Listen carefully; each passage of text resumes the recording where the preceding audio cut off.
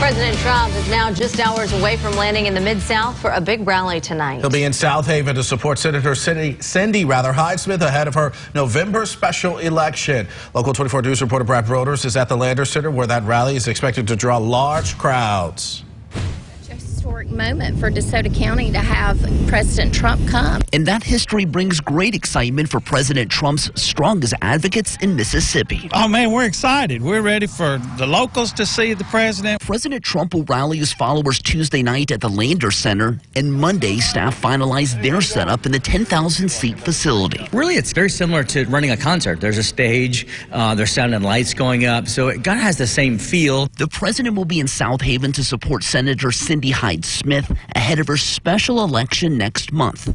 If none of the four candidates get at least 50% of the vote, there'll be a November 27th runoff with the top two vote getters. If we go to sleep, we could be in trouble, so we need to make sure the Republicans get out and keep our Republican majority. For those heading to the president's rally, Lander Center staff offered these tips for a smooth experience. Leave early, give yourself plenty of time for traffic to get through. Anyone that's coming early, hydrate yourselves, maybe a warm day outside.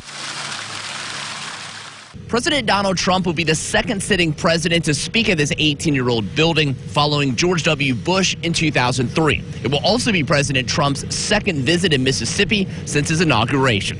Reporting at the Lander Center in Southaven, Mississippi, Brian Broders, Local 24 News. If you are not attending tonight's rally, authorities say you probably should avoid the roads and interstate around the Lander Center. Police plan to shut down I-55 in both directions from I-240 to Nesbit Road from 445 to 530 tonight and again from 730 to 815 tonight. The doors open at 330 and will close once capacity is reached. All seating is general admission. It's first come, first serve. Saving a seat, not allowed, so don't try it.